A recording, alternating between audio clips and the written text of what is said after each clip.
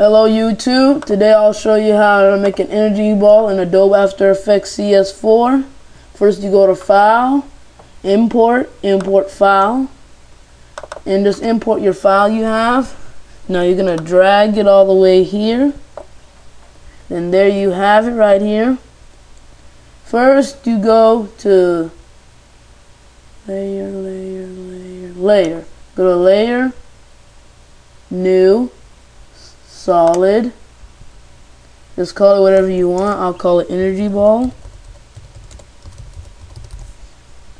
Make sure you have it make comp size. Make sure it's all the way to white. And click OK. Now press OK. Now you have this white thing. First you go to rectangle. You may just have rectangle on it. So just hold, hold it down and go to ellipse tool then I'll just draw a circle, hold shift to make it like that.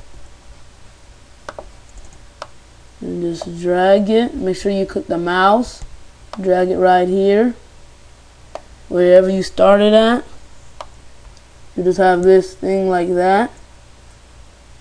It won't move. Now just go to energy ball. Click MM, MM. Then just go like this and click the stopwatch. Then go on T, Shift P, Shift M, and Shift S.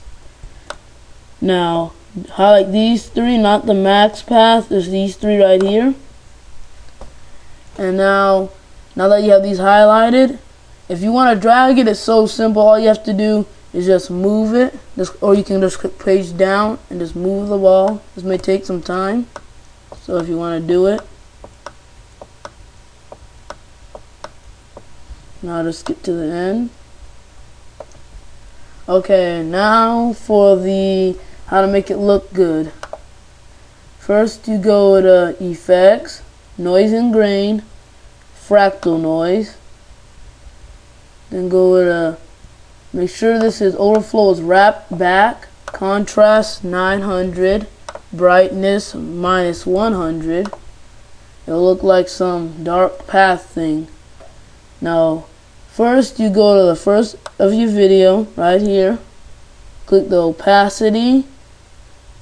The opacity, you keep that the same. And you click the cycle evolution, cycle in revolution 5. Check the cycle evolution. Now it'll be 5. It moved a little. So now all you have to do to make it look, to make it like move, just go check the stopwatch and now move your video all the way to the end or near the end. And then make your thing times 6 so now it will move like this. It'll move like this right here. So now to make it look a little bit better you can go to blur and sharpen radial blur change it to zoom center. Make sure you put it right in the center of your ball. And then the amount, put it 150, 150. And it'll look like something like that. So now you can change the amount like this to make it fit your ball. I like mine like that.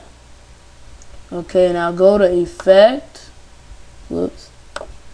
Go to effect go to color correction to change the color of it hue, slash saturation.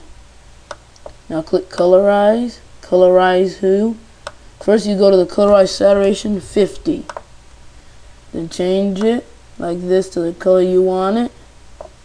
I put mine in that color. You can change the lightness of it like that or you can just change it down. You can color the whole ball in like that or you can just change it like that. So that's how mine's gonna be like. So now that's all you have to do. Now just play it. I'll just go. Now that you got that done if you want to save it go to composition add to render queue go to render my things are already outputted, but you can put your output in it. And then click render. It'll just do the progress.